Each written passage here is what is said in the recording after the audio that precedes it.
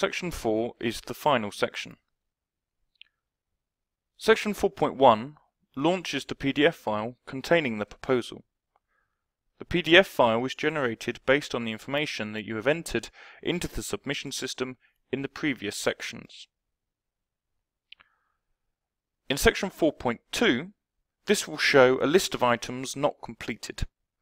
If all sections have been completed, as is the case in this example, you will be prompted to submit the application.